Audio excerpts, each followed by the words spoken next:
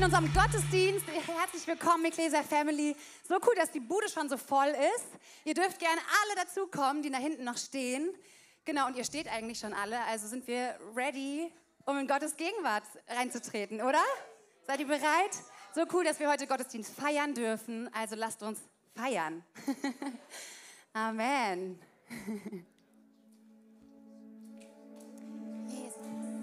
Du hast gesiegt, dein Grab ist leer, der Tod hat verloren, er herrscht nicht mehr. Jesus, dein Name, hoch erhöht in Herrlichkeit. Lass uns singen mit ganzer Kraft. Mit ganzer Kraft folge ich dir nach. Ich bete dich an, so laut ich kann. Jesus, dein Name,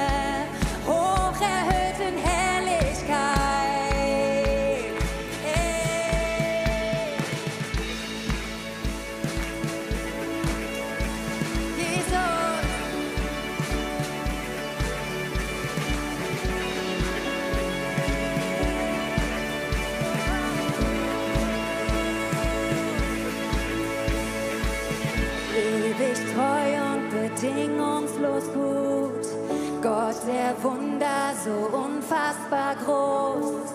König Jesus, wir beten dich an. Nichts ist jemals unmöglich für dich.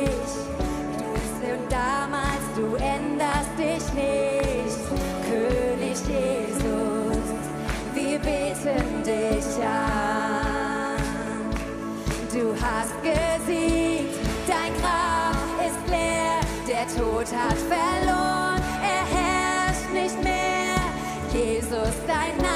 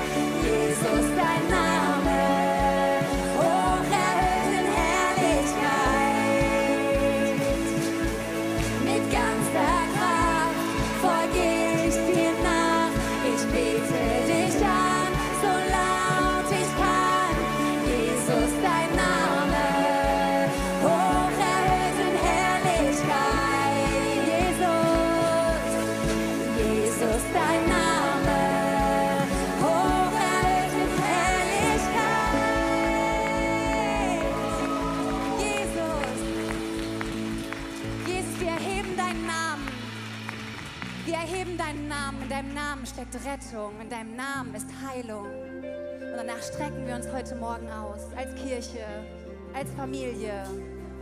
Komm, Jesus.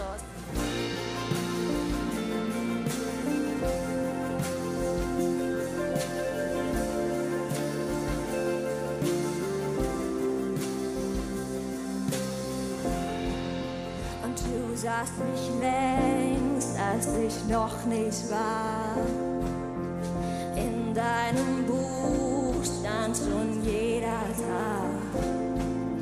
Und alles in mir kennt mich so wie du.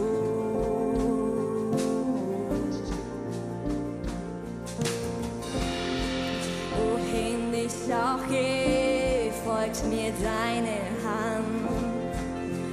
Du bist nicht fern, du bist immer nah. Und du findest egal wie weit ich lauf.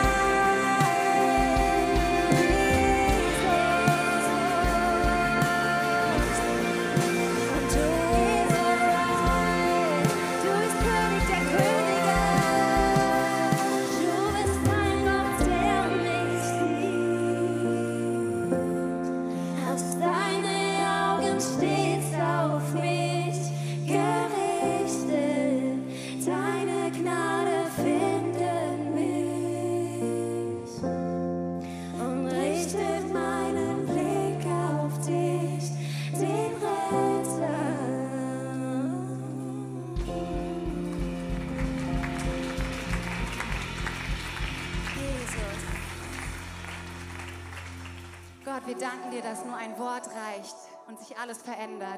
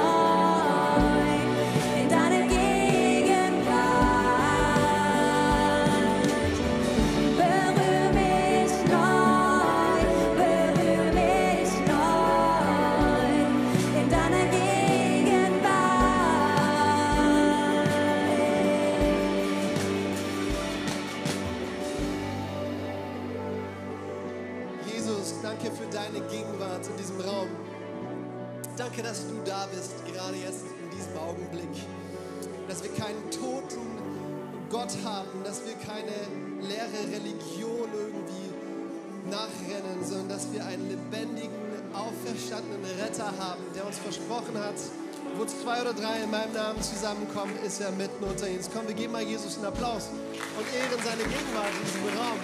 Weil er ist wirklich hier, ihr Lieben, er ist wirklich hier.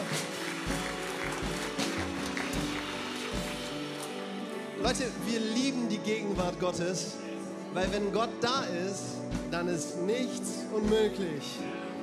Komm, komm, mach das mal in deinem Herzen kurz fest. Wenn, die, wenn Gott da ist, dann ist nichts unmöglich. Lukas 5 lesen wir eine Geschichte von, von Jesus, wie Menschen aus, aus allen Generationen, aus allen Nationen zusammenkommen. Schriftgelehrte, Diebe, Verbrecher, Normalos, Väter, Mütter, Kinder. Sie kommen zusammen und dann heißt es da in Lukas 5, Vers 17, und die Kraft Gottes war da, um sie zu heilen. Freunde, wenn wir, wenn wir Jesus anbeten, wenn wir als Kirche zusammenkommen, dann stellen wir uns auf sein Wort und wir erwarten und wir glauben, dass er da ist, dass die Kraft Gottes da ist, um zu heilen. Und das gilt für dich, mein Lieber. Das gilt für dich. Ich will dir Mut machen, jetzt dir das bewusst zu machen. Und mit deiner Not, mit deiner Sorge, mit deiner Krankheit, mit deinem Leid, mit deinem Schmerz, mit deiner Angst, diesem Jesus zu begegnen. Das alles vor ihn zu legen, abzugeben und zu sagen, komm Jesus, heile mich, berühre mich, mache mich frei von meiner Angst. Wow, ich weiß, das sind so krasse Anliegen im Raum. Meine Nachbarn, Teil dieser Gemeinde, da ist die kleine Elisa gerade im Krankenhaus und braucht unbedingt ein Wunder, braucht unbedingt ein Eingreifen Gottes. Ich weiß nicht, wie deine Situation aussieht, aber ich möchte dir sagen, bei Jesus ist nichts unmöglich und du kannst jetzt zu ihm kommen, zum Heiler, zum Retter. Und das wollen wir gemeinsam tun. Ich lade dich ein, streck deine, aus, deine Hand aus zum Himmel, wenn du dich nach einer Berührung Gottes sehnst, wenn du dich nach Heilung sehnst, nach Durchbruch sehnst. Und lade dich ein, mach jetzt deine Stimme laut und bete Jesus an. Lad ihn ein, in deine Situation als Heiler, als Retter hineinzukommen. Komm, wir beten Jesus. Danke, dass du da bist, dass du jetzt gerade diesen Raum erfüllst mit deiner heilenden Kraft, mit deiner wiederherstellenden Kraft. Danke, dass du jetzt Wunder tust. Und ich spreche das aus über diese Lebenssituation, die jeder Einzelne hier jetzt gerade begegnet, dass die Kraft Gottes hineinkommt und den Unterschied macht. Dass Schmerzen plötzlich gehen, Jesus. Dass Angst und Trübsal jetzt gerade die Herzen verlässt und dass Freude und Hoffnung hineinkommt. Dass die Liebe des Vaters jetzt gerade ausgegossen wird durch den Heiligen Geist in unsere Herzen. Jesus, wir lieben dich und deine Gegenwart und wir ehren, dass du da bist und Wunder tust. Und gemeinsam sagen wir Amen. Komm, wir beten Jesus an und zählen auf sein Einwirken. Komm und fülle dein Haus, komm, fülle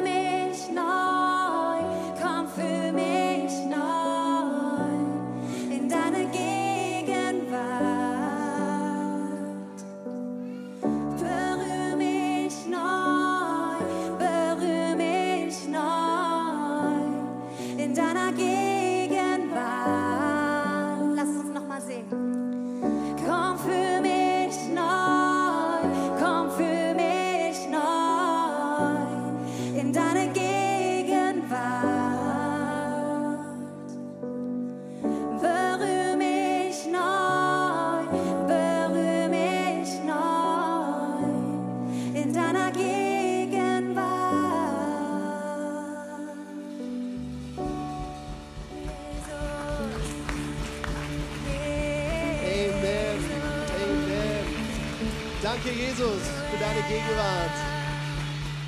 Großartig. Hey, einen wunderschönen guten Morgen und herzlich willkommen in der Ecclesia Family. Du darfst super gerne Platz nehmen. Und ich würde sagen, beim Platz nehmen geben wir unserem Worship-Team nochmal einen richtig starken Applaus, oder? Und freuen uns über. Ich frage mal, wer von euch hatte gerade eine gute Zeit in der Anbetung? Wer hatte. Oh, das sind so viele Hände. Großartig. Hey, so schön, dass du da bist. Herzlich willkommen an dich. Ganz egal, wer du bist, wo du herkommst, wie du so drauf bist, was deine Interessen sind. Ganz egal, ob du dich darüber freust, dass Bayern wieder nur unentschieden gespielt hat oder ob du traurig bist. Ja, ich merke schon, das ist ein spannendes Thema. Ne? So schön, dass du da bist und auch ein herzlich willkommen an den Livestream. Komm, wir geben mal dem Livestream herzlich einen guten Applaus und heißen sie willkommen. Hey, wir freuen uns, dass du da bist, vor allem wenn du ganz neu hier bist als Gast. Das muss nicht so bleiben. Wir freuen uns als, als Kirche darüber, dass, dass die Ecclesia ein Ort ist und ein Ort sein soll, an dem aus Fremden Freunde werden, ja, wo Menschen einfach nicht irgendwie anonym als Besucher bleiben, sondern Teil einer Family werden, einer Familie werden. Deswegen heißt das Ding Ecclesia Family. Und dazu wollen wir dich ermutigen. Hey, komm auf uns zu. Wir kommen auf dich zu, versprochen. Lerne uns kennen. Wir geben uns beste Mühe, einfach mit dir in Kontakt zu treten. Und der einfachste Weg ist der, dass du zwei Sachen machst. Erstens, Füll doch eine Kontaktkarte aus. Hey, wenn du hier bist und du sagst, du wirst die Ecclesia gerne besser kennenlernen, du bist auf der Suche nach einer Gemeinde, in der du gemeinsam mit anderen Jesus nachfolgen und Glaube leben und Gemeinschaft erleben kannst, dann füll so eine Kontaktkarte aus. Die findest du einmal in der digitalen Form in diesem Booklet, beziehungsweise du findest den QR-Code zu dieser Kontaktkarte in dem Booklet, das auf deinem Platz liegt. Oder aber du gehst einfach nach dem Gottesdienst zu unserem Infopoint und holst dir da so eine Printkarte ab. Und ähm, über deine Kontaktdaten machst du es uns ganz leicht, dass wir einfach dir schreiben können, dass wir uns mit dir treffen können, dass wir mit dir mal einfach drüber schnacken können, was denn vielleicht ein nächster Schritt für dich sein könnte. Wir haben so viele Kleingruppen in Rhein-Main-Gebiet. Ich glaube 35 Kleingruppen in Rhein-Main-Gebiet, wo Menschen einfach sich treffen, um Glaube zu leben, um miteinander äh, Gemeinschaft zu erleben und das Leben zu meistern. Es gibt Dream Teams, es gibt den ersten Mittwoch Gottesdienst. Wow, es gibt so viele Dinge, die du kennenlernen kannst. Von daher füll doch am besten eine Kontaktkarte aus. Und das Zweite ist, und dazu will ich dich von ganzem Herzen ermutigen, komm doch zu Next Steps. Next Steps ist ein zweischrittiger Kurs. Heute ist Schritt 2 dran. Der findet immer direkt nach dem Gottesdienst statt. Also hast du auch heute die Möglichkeit, direkt nach dem Gottesdienst mit dem Amen, wenn wir das Vaterunser beten, kurz hochzugehen, die Treppe in den ersten Stock und dort in den Kids-Räumen findet dann unser Next Steps-Kurs dran. Next Steps ist ein Kurs, der dir einfach helfen soll, die Gemeinde kennenzulernen und nicht nur die Gemeinde kennenzulernen, sondern ähm, Menschen kennenzulernen und, und etwas über dich und, und deine Berufung zu erfahren. Schritt 2 heißt, finde deinen Platz und heute wirst du die Möglichkeit haben, die verschiedensten Dream Team-Leiter dieser Gemeinde kennenzulernen. Wenn du dich jetzt fragst, was ist ein Dream Team-Leiter? Genau, komm zu Next Steps, dort findest du alles raus, okay? Dir wird ein Cappuccino oder ein Kaffee hochgebracht, wenn du willst, brauchst dich nicht anstellen. Wir freuen uns auf dich heute bei Next Steps kennenzulernen. Herrlich, hey, an der Stelle heiße ich mal ganz herzlich willkommen ein Team, das heute da ist aus Colorado, aus den Staaten und die heißen wir auch mal ganz herzlich willkommen mit einem Applaus. Nice to see you. We're happy you made it. Und wir hoffen, äh, ihr genießt Deutschland und Frankfurt. Äh, Amerika-Fans im Haus? Okay, stell die Frage nicht. Lass mal bleiben. Okay, lass mal bleiben. Zu, zu gefährliches Terrain. cool.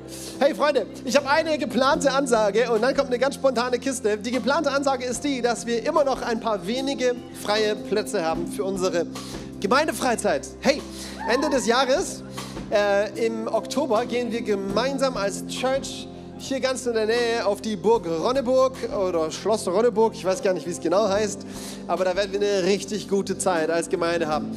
Ähm, drei Tage, wo wir einfach zusammen Gottes Gegenwart genießen werden, in richtig starken Gottesdiensten. Es wird coole Seminare geben zu Themen, über die man so im Alltag nicht immer zum Sprechen kommt. Wir werden miteinander essen, Volleyball spielen, Fußball spielen, baden gehen im Oktober. Die Verrückten gehen gemeinsam baden, okay? Äh, es wird einfach eine richtig coole Zeit und ich hätte dich super gerne mit dabei. Ganz egal, wo du auch stehst. Vielleicht bist du 18 und einer von der Neon-Mannschaft. Komm, sei mit dabei. Vielleicht bist du 80 und du bist nicht mehr bei Neon. Neon ist unsere Jugendarbeit. Komm, sei mit dabei. Auch komm auf die Ronneburg. Ja, es gibt ein paar Senioren, die angemeldet sind. Ich freue mich riesig. Die Familien unter uns mit euren Kiddies, kommt vorbei. Das wird herrlich. Ich freue mich. Ich werde drei Tage meine Tochter nicht sehen. Also da freue ich mich nicht drüber, aber ähm, sie wird mit den ganzen anderen Kids unterwegs sein und eine gute Zeit haben und ich fände es einfach mega cool, wenn du dich noch anmeldest. Das wird eine richtig starke Zeit. So, und jetzt ganz spontan. Ähm, du kannst dich anmelden über unsere Homepage. Ganz spontan zu mir kam in der Worship-Zeit eine schrecklich coole Familie, nämlich die Familie Weiß, Helmut, Lea und jetzt auch die Anna. Ich lade euch mal ein, kommt nach vorne und haben darum gebeten, ob wir nicht ganz spontan heute die Anna segnen können. Und dazu sagen wir nicht nein, oder was sagt ihr? Ich finde das klasse.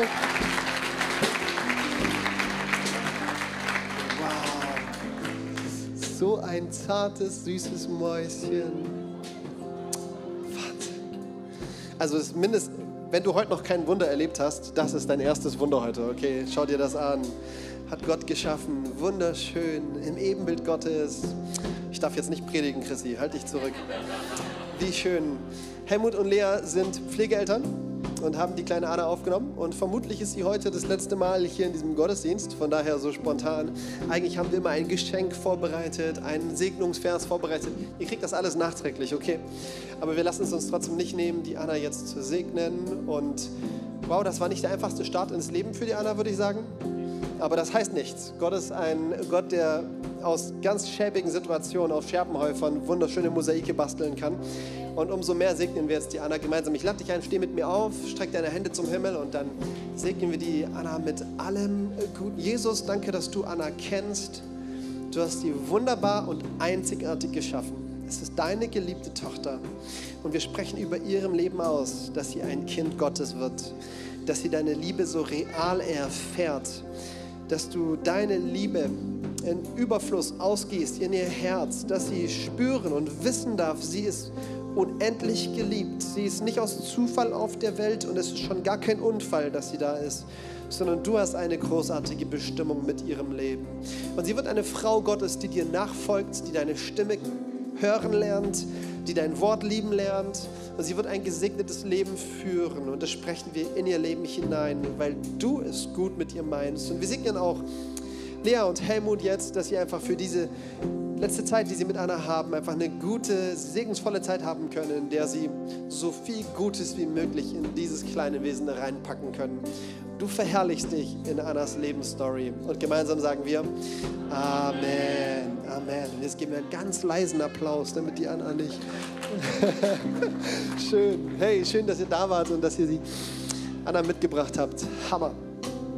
Cool. Hey, wenn du auch ein Baby hast, das du segnen lassen willst, bring's mit geht spontan, kann man auch vorbereiten. Ja? Und wir freuen uns über jedes Baby, das wir hier segnen. Herrlich. Hey, wir sind in unserer Season völlig unverdient unterwegs. Das ist unsere Osterseason im April. Und ich freue mich auf eine richtig gute Predigt von unserem Paul heute. Paul Keulert wird gleich predigen. Get ready, friends. Aber bevor Paul auf die Bühne kommt, haben wir noch unsere freundliche Minute. Und die freundliche Minute ist alles, beziehungsweise ist gar nichts außer eines, freundlich. Okay, also du hast eine ganz einfache Aufgabe und du bist einfach kurz so freundlich wie irgendwie möglich. Ja, ich weiß, das ist gar nicht so leicht für manch einen hier. Gib dir kurz Mühe, okay? Komm, pack, pack eine Wäscheklammer aus, klemm dir die Lippen an die Backe, damit du grinst und dann sag einfach mal Hi, wer bist du? Lern die Menschen um dich herum kennen. Es ist eh nur eine Minute, von daher du wirst nicht sterben, okay? Das wird alles gut ausgehen. Und dann äh, tauschen wir uns einfach ein bisschen aus, weil das ist, das ist im Gottesdienst so. Wir bleiben hier nicht anonym, okay?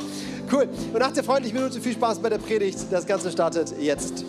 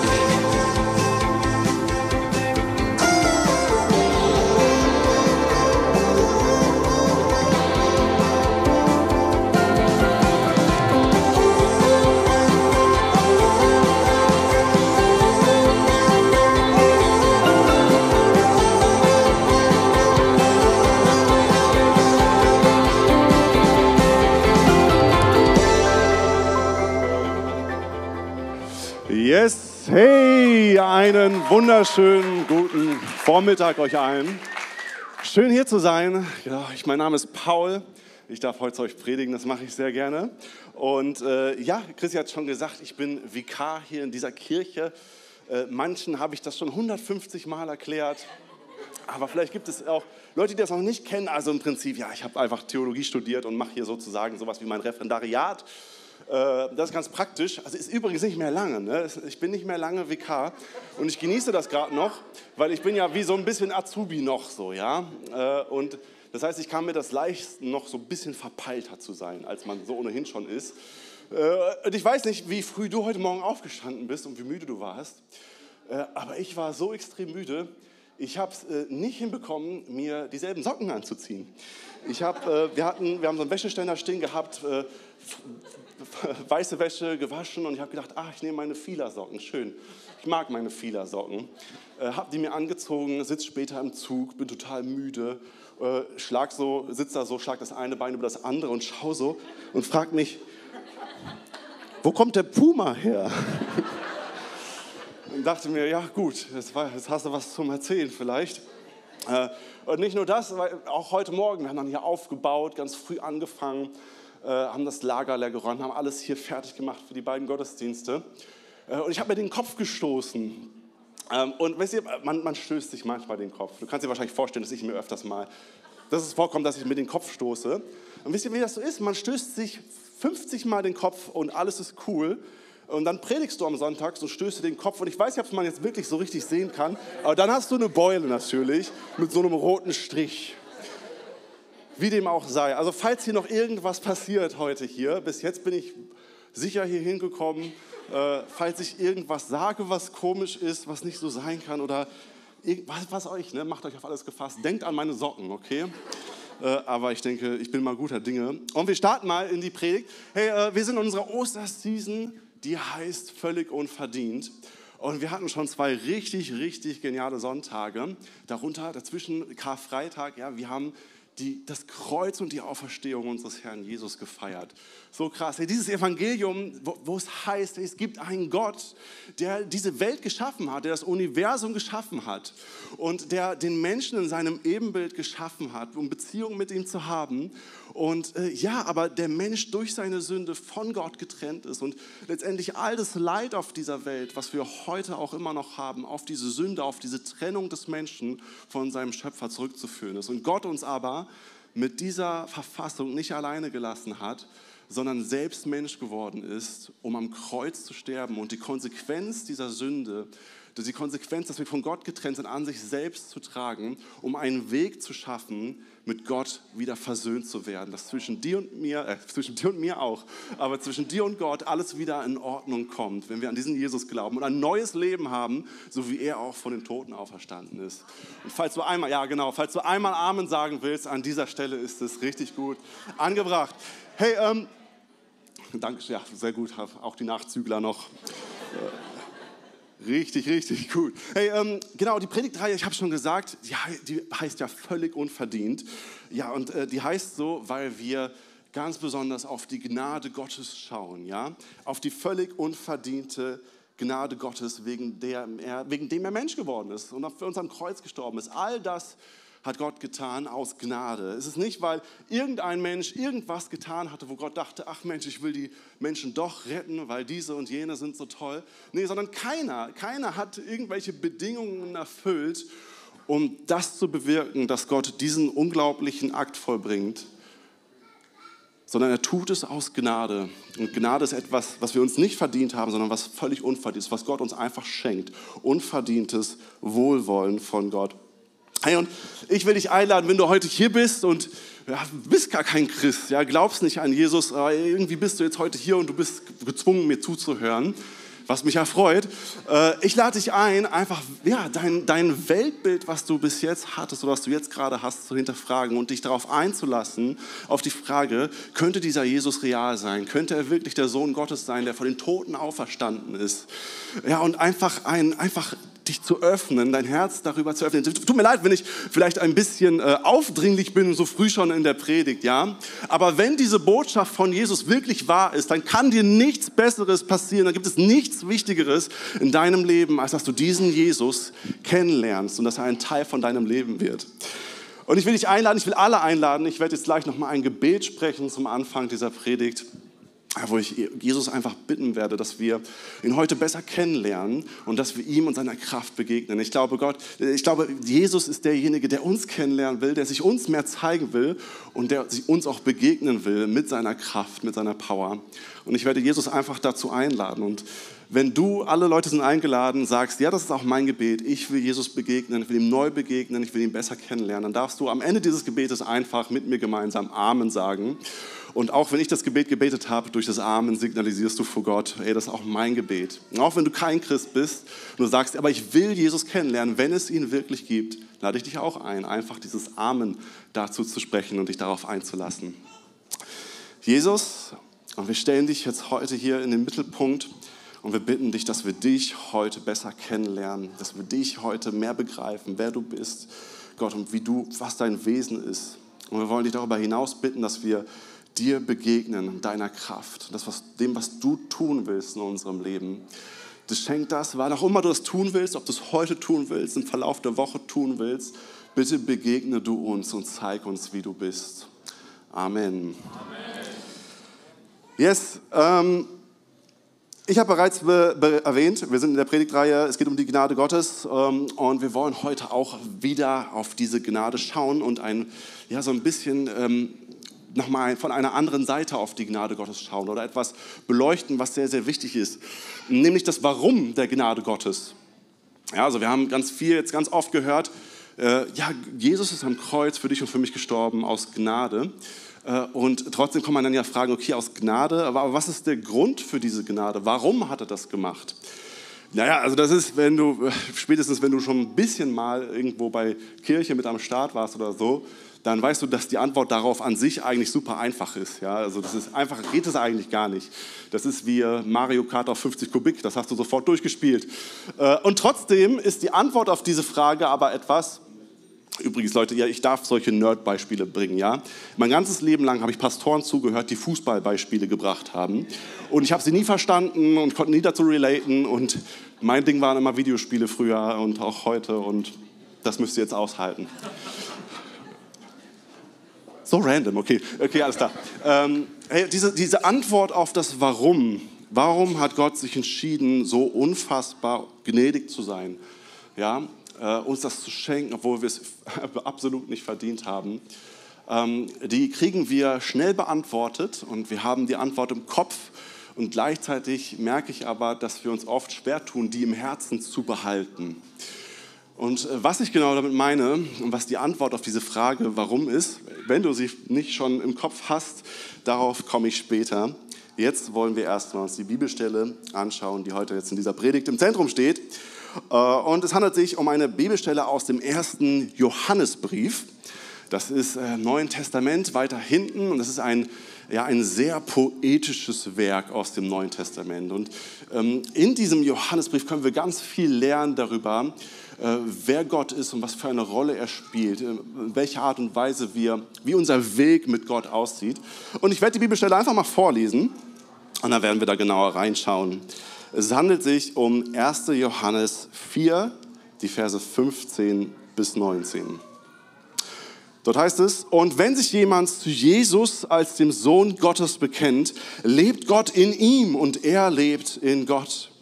Und noch etwas gibt uns die Gewissheit, mit Gott verbunden zu sein. Wir haben erkannt, dass Gott uns liebt. Und wir haben dieser Liebe unser ganzes Vertrauen geschenkt. Gott ist Liebe. Und wer sich von der Liebe bestimmen lässt, lebt in Gott und Gott lebt in ihm. Wenn das bei uns der Fall ist, hat die Liebe uns von Grund auf erneuert. Dann werden wir dem Tag des Gerichts voll Zuversicht entgegensehen können, denn auch wenn wir noch in dieser Welt leben, sind wir doch wie Jesus mit dem Vater verbunden. Wo die Liebe regiert, hat die Angst keinen Platz. Gottes vollkommene Liebe vertreibt jede Angst. Angst hat man nämlich dann, wenn man mit einer Strafe rechnen muss. Wer sich also noch vor dem Gericht fürchtet, bei dem ist die Liebe noch nicht zu ihrem vollen Durchbruch gekommen. Der tiefste Grund für unsere Zuversicht liegt in Gottes Liebe für uns. Wir lieben, weil er uns zuerst geliebt hat. Danke, Jesus, für dein Wort. Bitte hilf uns, es zu verstehen und nicht nur im Kopf zu haben, sondern auch, ich denke, dass es einfach ganz tief verwurzelt ist in unserem Herzen. Amen. Ja, wir werden uns als erstes, werden genauer hinschauen, ja, und wir werden uns als erstes äh, auf die ersten beiden Verse hier nochmal fokussieren und dann mal ein bisschen durchgehen, äh, weil hier werden wesentliche Aspekte dessen sichtbar oder spiegeln sich in diesen Versen wieder, was es eigentlich bedeutet, was mit einem Menschen passiert, äh, der zum Glauben an Jesus kommt, ja. Ich meine, wir haben irgendwie so die, die ganz, das, wenn, du, wenn dich jemand fragt, okay, was, was, hat Jesus erkauft am Kreuz und durch die Auferstehung. So die ersten Sachen, die man da immer auf dem Schirm hat und die man auch als erstes nennt, sind, hey, Vergebung für meine Schuld und ewiges Leben. Und das sind auch überhaupt gar keine falschen Aussagen. Das, sind, das, ist so, das ist so großartig, wenn wir begriffen haben, was das bedeutet. Und dennoch gibt es noch so viel mehr, was wir entdecken dürfen, was Jesus für uns möglich gemacht hat und was Gott uns geschenkt hat durch diese Gnade. Und das spiegelt sich in diesen Versen wieder.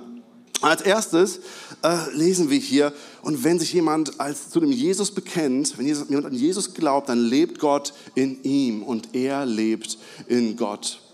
Ich habe es vorhin schon gesagt, durch Jesus ist, wird, es wird zwischen uns und Gott alles wieder in Ordnung. Wir bekommen Versöhnung geschenkt. Und äh, das Krasse ist, was sich hier wieder auch spiegelt, ist, dass es nicht nur irgendwie so auf einem Blatt Papier ist, so, ne? so ein bisschen so rein formulell, so okay, das, die Schuld ist beglichen, Unterschrift drunter, es ist jetzt erstmal grundsätzlich alles wieder okay. Äh, nein, sondern was, was wir leben, Gott ist ein Teil von uns, wir sind existenziell verbunden mit Gott, wir dürfen in einer Beziehung zu Gott leben. Und das ist so basic, oder? Das ist für ganz viele hier nichts Neues, so klar. Aber das spiegelt sich hier in dem Vers wieder und ich glaube, wir dürfen, müssen manchmal neu entdecken, was das eigentlich für uns bedeutet. Was das eigentlich für unseren Alltag, der uns oft so einnimmt und ablenkt, bedeutet. Dass wir dazu bestimmt sind, dass wir durch Jesus verbunden mit Gott leben. Das wäre das Erste.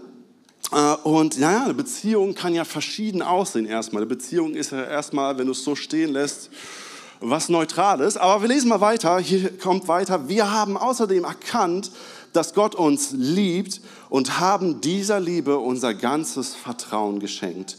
Gott ist Liebe und das, ja, Gott ist Liebe, das ist dieser berühmte Satz, der hier kommt. Ne? Dieses, falls du dich schon mal gefragt hast, wo steht das eigentlich? Gott ist Liebe. Es ist hier aus dem ersten Johannesbrief. Wir haben nicht nur eine Beziehung zu Gott, sondern in dieser Beziehung haben wir es auch mit Gott zu tun, als dem, der die Liebe in Person ist. Das, was Gottes Wesen, Gottes Herz am meisten auf den Punkt gibt, wenn es ein Wort gibt, dann ist das Liebe, Gottes Liebe. Und wir haben diese Liebe erkannt und wir haben ihr unser ganzes Vertrauen geschenkt.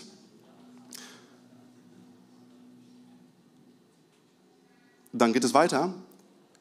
Und es das heißt, und wer sich von der, dieser Liebe bestimmen lässt, der lebt in Gott und Gott lebt in ihm. In dieser Liebe zu leben und sich von ihr bestimmen zu lassen, das ist der Kern dessen, was es bedeutet, mit Gott verbunden zu sein. Das kommt hier in diesem, in diesem letzten Teil dieser zwei Verse vor. Ja? Also diese Liebe, das ist etwas, was anfängt, unser Leben zu bestimmen. Das ist, das, was, das ist der Dreh- und Angelpunkt unserer Beziehung zu Gott. Und, äh, und es hat Auswirkungen auf uns selbst. Wenn wir uns davon bestimmen lassen, heißt es hier, ja, dann leben wir auch weiter. Dann ist, sind wir in dieser Beziehung unterwegs. Aber was bedeutet das alles?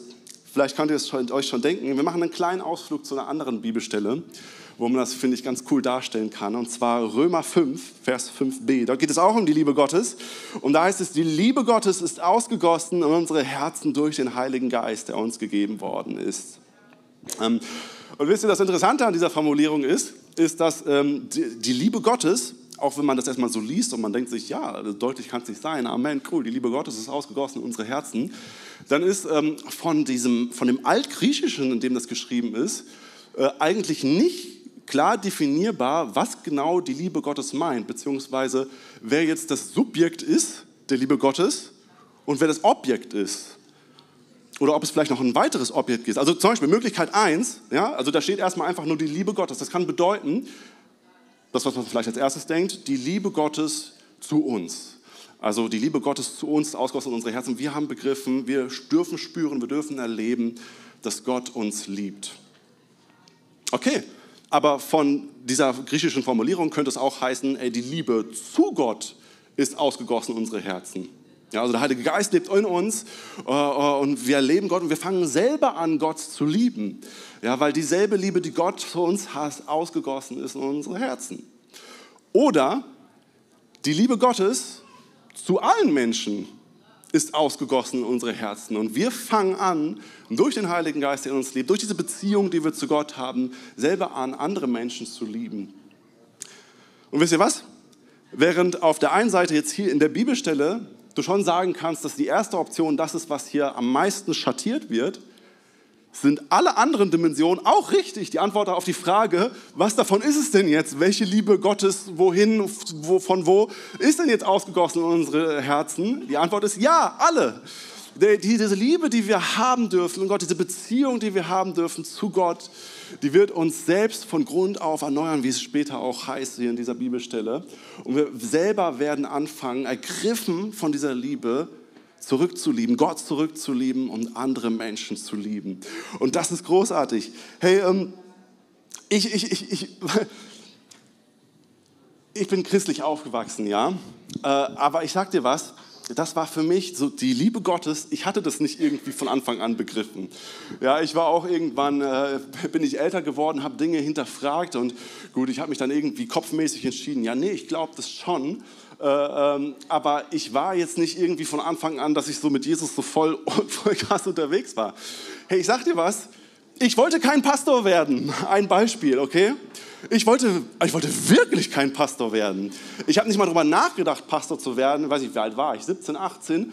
Aber wir haben so beim Gesprächen, am besten noch mit einem Bier in der Hand oder so, äh, habe ich gedacht, hey, weißt du, welchen Beruf ich mir richtig beschissen vorstelle?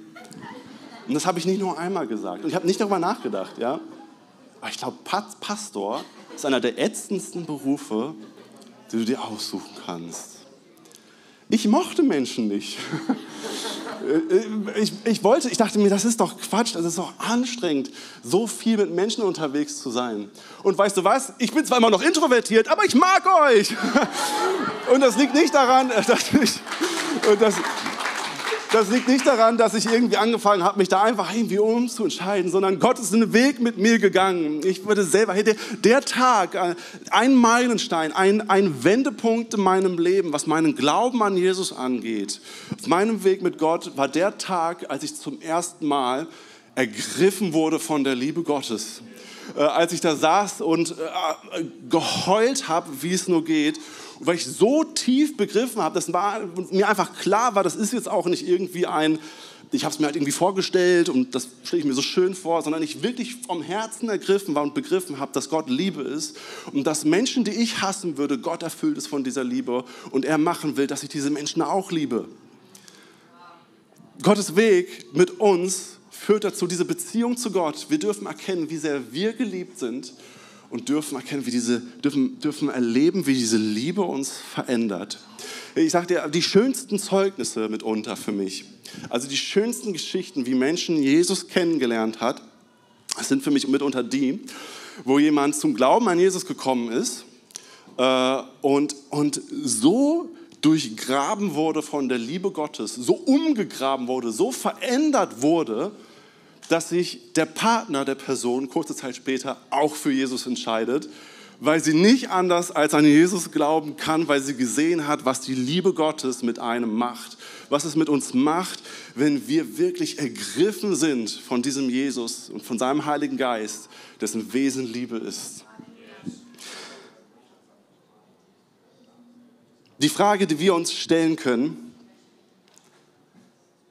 ist, äh, wenn wir schon länger gerade vielleicht auch mit Jesus unterwegs sind, erleben wir das noch? Ist es vielleicht schon länger her, dass wir das erlebt haben? Brauchen wir vielleicht ein Update? Ich glaube, wir brauchen immer mal wieder ein Update. Wir sind unterwegs, es gibt so viele Dinge, mit denen wir uns im Leben beschäftigen. Und ich glaube aber, dass, dass, dass wirklich da, der Punkt, um dem wir, der Punkt, der alles andere ausmacht in unserem Leben, was es da auch gibt, was auch dazugehört, Jesus nachzufolgen, darin besteht, dass wir ergriffen sind von dieser Liebe Gottes, in dieser Beziehung zu ihm. Und das ist großartig. Und ich lade dich ein, dich neu danach auszustrecken. Ja, ich habe überlegt, ob ich ob ich am Ende der Predigt wieder so mache, so und hey, wenn du, wenn du willst, dass, wenn du das willst, wenn du neu ergriffen werden willst von der Liebe Gottes, dann bete jetzt halt kurz dieses Gebet mit mir mit. Und ich finde es toll an sich, aber weißt du was, ich lasse es bei dir. Ich lasse es bei dir. Streck dich aus danach. Sag Gott, hey, ich will ein Update. Füll mich neu mit der Leidenschaft deiner Liebe. Lass mich dich neu begreifen, wie du bist. Und belass es nicht dabei, das einmal kurz heute zu machen, sondern bring das immer wieder vor Gott. Und mach es nicht kompliziert, sondern sprich es in einfachen Gebeten, Gott, ich möchte wieder neu ergriffen werden von deiner Liebe.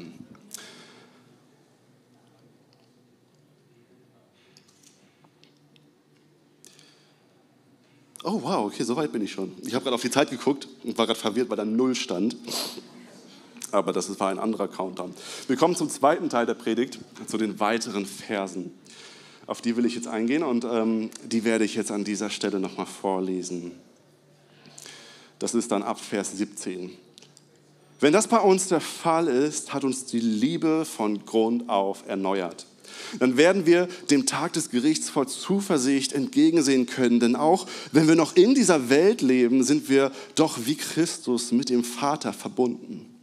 Und wo die Liebe regiert, hat Angst keinen Platz. Gottes vollkommene Liebe vertreibt jede Angst. Angst hat man nämlich dann, wenn man mit einer Strafe rechnen muss. Wer sich also noch vor dem Gericht fürchtet, bei dem ist die Liebe noch nicht zum vollen Durchbruch gekommen. Der tiefste Grund für unsere Zuversicht liegt in Gottes Liebe zu uns. Wir lieben, weil er uns zuerst geliebt hat. In diesen Versen spiegeln sich wieder auch Dinge wieder, die ich eben schon benannt habe, aber ich denke, euch ist klar, was so ein bisschen, was einen richtig anstrahlt aus diesen Versen raus, ja, was einem so richtig auffällt. Und das ist, ich habe mal einfach mal als Überschrift über diesen Part der Predigt, Gottes Liebe vertreibt jede Angst. Ja, was wir in diesem Text entnehmen, ist, dass wenn Gottes Liebe in uns zum Ziel gekommen, ja, da steht, wenn, wenn sie bei uns durchgebrochen ist, ja, oder eine andere Übersetzung sagt auch, wenn Gottes Liebe in unserem Leben zum Ziel gekommen ist, wenn Gott durch seine Liebe das getan hat in unserem Leben, was er tun will, wenn wir das begriffen haben, wenn wir es verstanden haben, wenn es verwurzelt ist in unserem Herzen, wenn es drin ist in unserem Denken, in unserem Handeln und was man noch sagen könnte, ja, dann hat Angst tatsächlich gar keine Platz, keinen Platz mehr in unserem Leben. Da hat die Liebe Gottes jede Angst vertrieben. Vordergründig geht es hier jetzt in dem Text. Ähm, ich will das vom Text her nochmal aufdröseln. Geht es hier um ja, das Gericht Gottes. Ja, es geht um, dieses, um die Konsequenz der Sünde am Ende dieses, dieses Zeitalters sozusagen. Ja, das, wovon Jesus jeden Menschen retten will. Das, wovon Jesus, das, wovon Gott will, dass es kein Mensch erlebt. Und hier heißt es, ja, wenn du, wenn du wirklich begriffen hast, dass Gott dich liebt und du in dieser Liebe verwurzelt bist, dann hast du davor natürlich keine Angst mehr. Absolut logisch, oder? Absolut logisch. Ähm, aber hier kommt der Punkt, wo wir uns vielleicht mehr oder weniger doch im Herzen schwer tun. Es passiert, dass wir an Jesus glauben und uns doch nicht so wirklich sicher sind, ob wir safe sind. Ja, okay, wie sieht es aus, wenn Jesus jetzt wiederkommen würde und, und wenn, jetzt, wenn jetzt das Ende da wäre, wäre ich mit im Boot bei Jesus, wäre ich geborgen in der Liebe Gottes, wäre ich gerettet? Und irgendwie sind wir uns nicht ganz so sicher und irgendwie hat sich Angst eingeschlichen oder eine Sorge eingeschlichen. Oder vielleicht tun wir das nicht so in Bezug auf die Ewigkeit, ja, machen uns jetzt keine Sorgen in Bezug darauf, wie wir die Ewigkeit verbringen. Aber trotzdem hat sich irgendwie eine gewisse, schleicht sich eine, passiert es, dass sich eine Furcht uns, eine Sorge, ähm, eine bedrückte Stimmung in unser Herz einschleicht in Bezug auf die Frage, wie schaut Gott jetzt gerade auf mich? Hat Gott mich wirklich lieb? Hat Gott mich gern? Hat Gott mich immer noch lieb? Ist er vielleicht genervt von mir? Ist Gott mir jetzt wirklich wieder gnädig? Zwischen Gott und mir ist gerade nicht alles in Ordnung. Ich bin gerade nicht vorbildlich genug Christ. Habe ich jetzt die letzte Zeit genug gebetet? Hm. Habe ich genug Bibel gelesen? Oh, ich habe gar nicht Bibel gelesen. habe ich genug angebetet. Gott ist mir gefühlt nicht nah. Ich spüre diese, diese Gedanken, ja. Ich spüre diese Connection gerade nicht mehr so. Äh, ich spüre die Nähe Gottes gerade nicht mehr wirklich. Ist Gott wirklich immer noch da? Und wisst ihr, das Problem ist, ich lasse die Katze gleich aus dem Sack, dass wenn diese Gedanken ja, ich meine, irgendwo, irgendwo ein schlechtes Gewissen zu haben, sich zu überlegen, so, okay, was ist der Wille Gottes, ist ja normal. Aber diese Gedanken, wenn das so eine Grundtendenz ist in unserem Leben mit Gott, dann ist Folgendes passiert. Angst ist der Motor unseres Weges mit Jesus geworden. Und das ist krumm, das ist giftig, das ist toxisch, das ist falsch.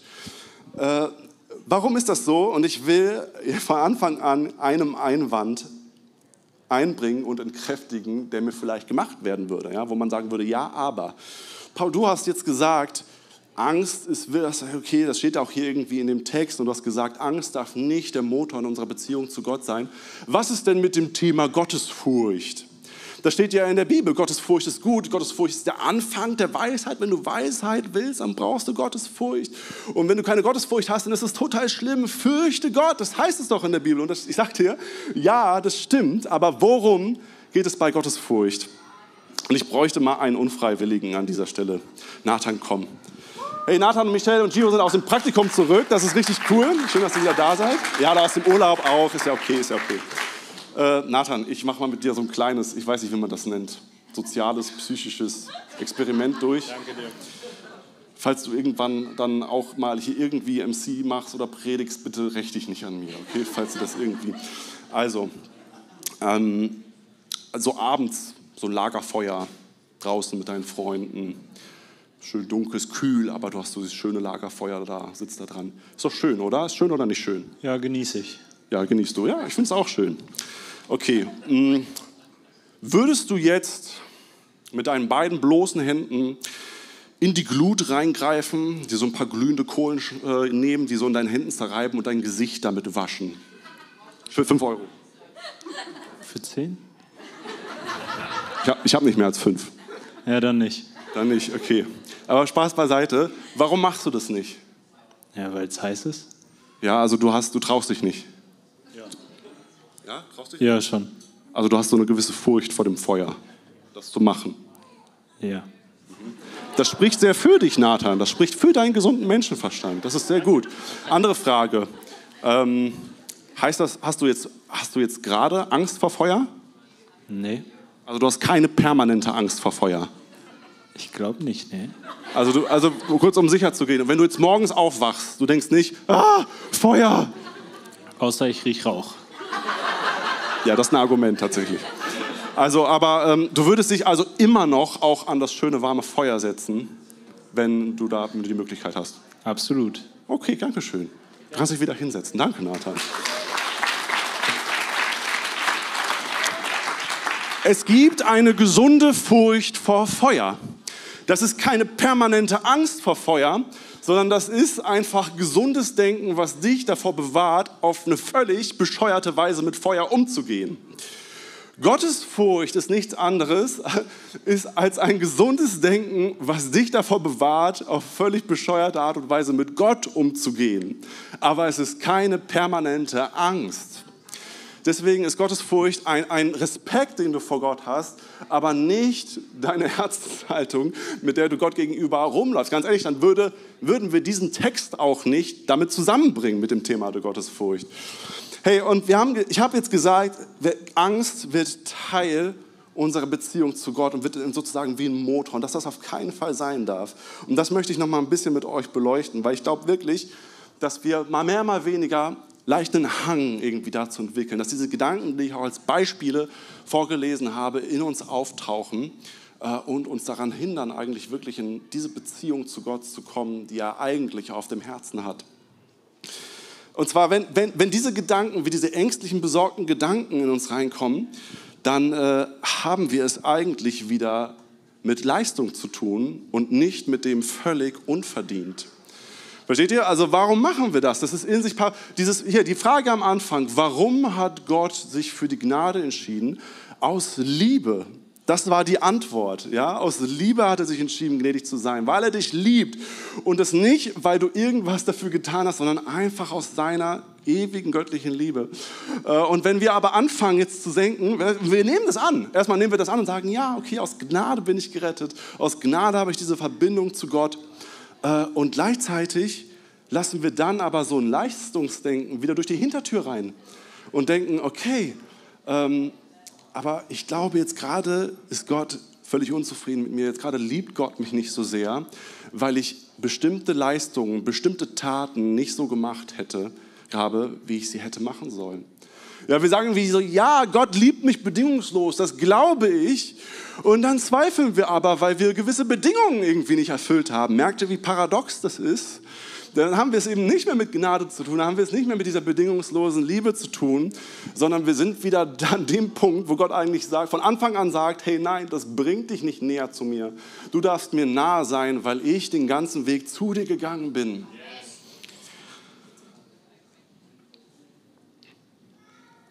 In der Bibel haben wir diese, haben wir diese äh, Gruppe von, dieses, ja, das kennt man irgendwie das Wort, ne, Pharisäer. Das sind so die Leute, die äh, irgendwie ein Problem mit Jesus oft haben und die sich so ein bisschen auf sich selbst verlassen, ja, die stolz sind, die so sagen so, hey, boah, ich bin ein krass geistlicher Mensch, weil ich bete jeden Tag, faste total viel, keine Ahnung, beschäftige mich mit der Schrift und das alles und sie schauen so ein bisschen herab auf, auf Menschen, die ihrer Meinung nach die Gnade brauchen, ja, die, aber sie selber sind stolz.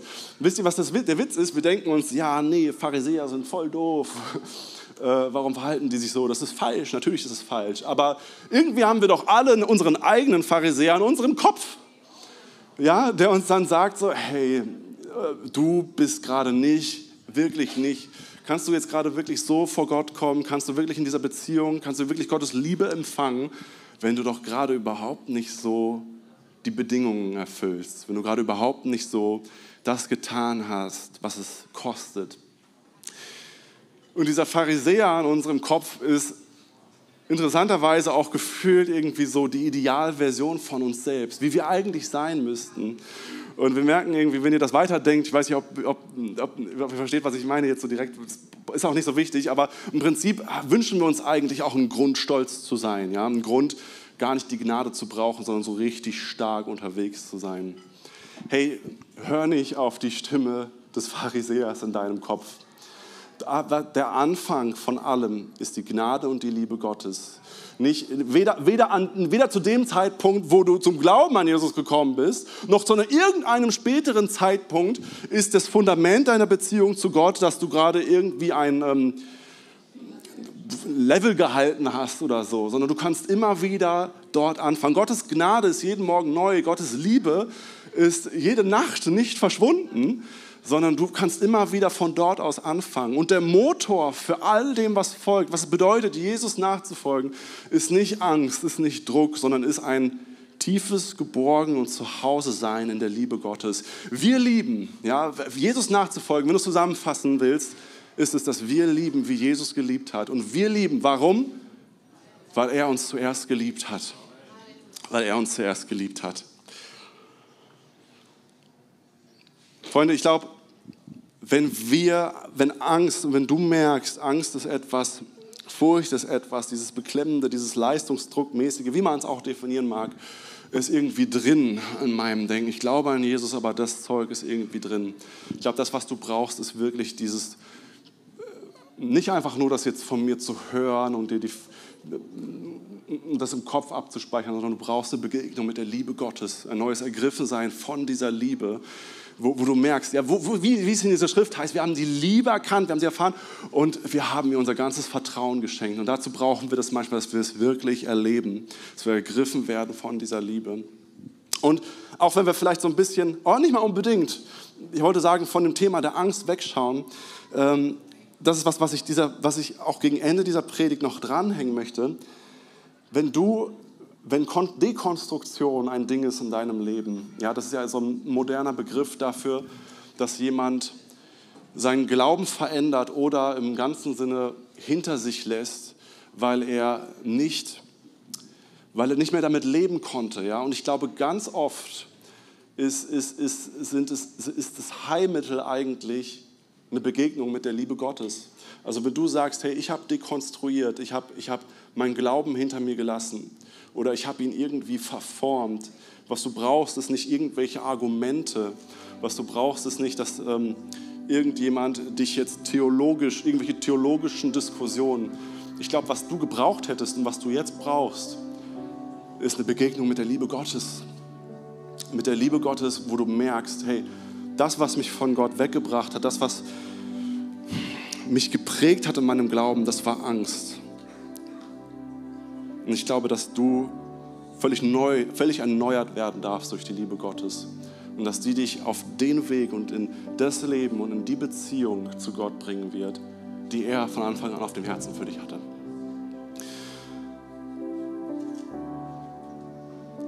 Und deswegen jetzt zum Ende der Predigt will ich alle einladen, hey, wenn du heute hier sagst, ich will,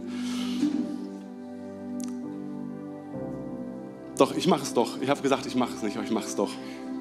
Wenn du sagst, aber ich bleib nicht dabei, bleib nicht jetzt bei dem hier so, okay, ich es jetzt einmal irgendwie so, sondern entscheide dich wirklich von deinem Herzen dazu und ja, suche Gott. Ich liebe diesen Begriff, suche Gott, weil es nicht so ein ist, zack, ich habe ein religiöses Ding irgendwie gemacht, sondern ich strecke mich aus nach ihm. Du darfst überzeugt sein, du hast Glauben, wer sucht, der wird finden. Und wenn du sagst, ich will die Liebe Gottes neu in meinem Leben suchen, ich will sie neu begreifen, ich will ergriffen werden von dieser Liebe, lass uns doch einmal gerade aufstehen dazu, ich glaube, das ist gut. Ähm, wenn du diese Entscheidung treffen willst und sagst, hier bin ich Gott, begegne mir deiner Liebe, dann lade ich dich ein, einfach mit mir gemeinsam jetzt zu beten. Jesus, wir brauchen dich. Wir brauchen deine Liebe. Lass uns neu begreifen, was deine Liebe ist. Ergreife uns in deiner Liebe. Lass uns sie neu erleben und verändere uns durch sie. Begegne uns. Führ uns neu in deine Gegenwart. Amen. Hey, und wenn, wenn das jetzt, wenn, wenn du heute jetzt hier bist und du merkst, hey, ich bin überhaupt noch gar nicht an dem Punkt, dass ich an Jesus glaube, aber du merkst, da zieht was an dir. Du merkst schon, wie Jesus anklopft an deine Herzenstür. Und du willst jetzt diese Entscheidung treffen, dann will ich dich da gerne auch mit hinein. Wenn du sagst, hey, ich will Jesus in meinem Leben haben, ich will ihm nachfolgen, ich will an ihn glauben, an das, was Gott für mich getan hat durch Jesus und diese Beziehung zu Gott haben, dann kannst du diesen ersten Schritt jetzt auch gehen. Und ich werde auch wieder ein Gebet vorbeten. Alle werden dich unterstützen, die Gemeinde wird es mitbeten. Ähm, und du darfst es einfach auch nachbeten, wenn du diese Entscheidung getroffen hast. Jesus, ich komme jetzt zu dir. Danke, dass du für mich am Kreuz gestorben bist und in deiner Auferstehung neues Leben für mich ist. Ich will dir nachfolgen. Sei du mein Herr und sei mein Freund. Amen.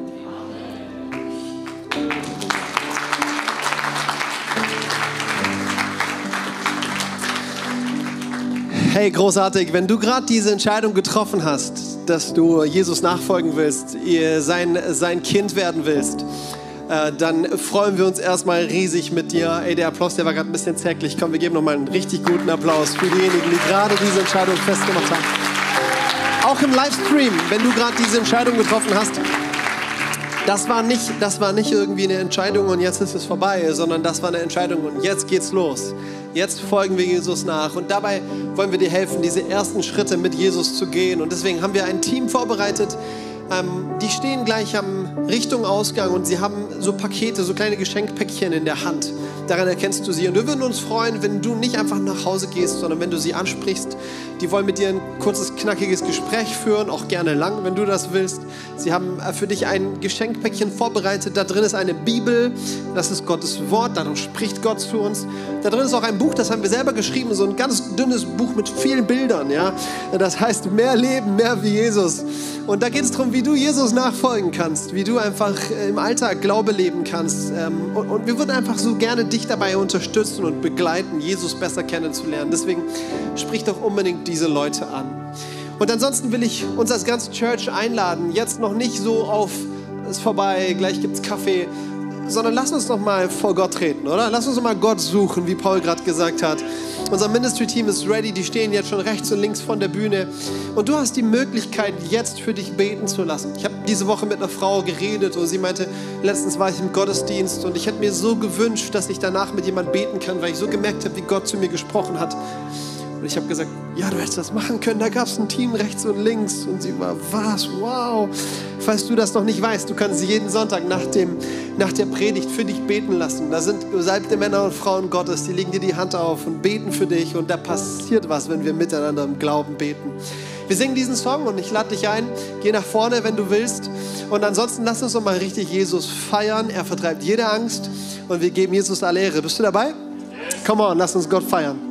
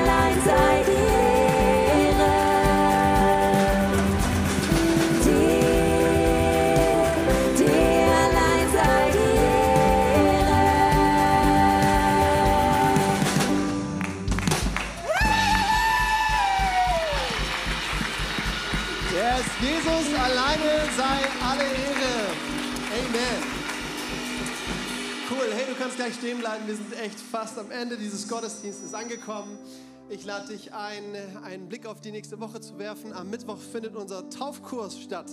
Wenn du noch nicht glaubensgetauft bist und diesen Schritt gehen willst oder dich zumindest informieren willst, schau vorbei über Zoom. Anmelden kannst du dich ganz einfach über die Homepage. Und ansonsten wollen wir jetzt zum Abschluss dieses Gottesdienstes dir nochmal die Möglichkeit geben, dich finanziell mit einzuklinken in das Reich Gottes und Gemeindebau möglich zu machen. Ihr wisst, dass wir wieder gerade viel am, am Umbauen sind, oder? In der Wetterau wird ein ganzer Raum renoviert, damit dort Kirche möglich gemacht wird. Und auch hier in Frankfurt, wir ziehen um. Falls du es nicht mitbekommen hast, ab Mai sind wir nicht mehr in Sachsenhausen. Alle sagen einmal, oh. Sondern wir sind im Ostend. Alle sagen einmal, yeah in der Hanauer Landstraße 189 und das wird richtig schön, das Office. In diesen Tagen wird dort neu gestrichen, umgebaut und so weiter. Und wir wollen heute wieder eine kleine Kollekte sammeln. Wenn du Gast hier bist, bitte fühl dich gar nicht erst angesprochen. Wir sind nicht daran interessiert, dass du uns dein Geld gibst. Wir sind daran interessiert, dass du Jesus kennenlernst. Ja? Aber wenn du Teil dieser Gemeinde bist und du willst mitbauen, dann lade ich dich ein. Was wir heute geben, wird zur Verfügung gestellt, damit wir im Office einfach einen richtig schönen, wertschätzenden Raum gestalten können, in dem Menschen wie du und ich gemeinsam Glaube leben können. Von daher, du siehst hinten an der Wall gerade Möglichkeiten, wie du geben kannst. Und ähm, am Ausgang findest du auch einen kleinen Korb, eine kleine Kiste, wo du Bargeld reinwerfen kannst. Gott segne dich dafür. Ansonsten beten wir jetzt zum Abschluss des Gottesdienstes noch das Vater unser. Wir sagen Amen und dann bist du herzlich eingeladen, zu Next Steps zu kommen. Einfach einmal in den ersten OG. Komm, wir beten. Vater unser im Himmel, geheiligt werde